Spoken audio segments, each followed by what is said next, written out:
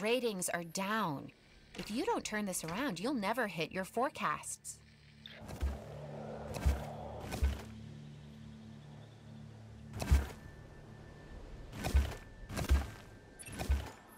Stellar work! I'm not sure I could even get this place running this well.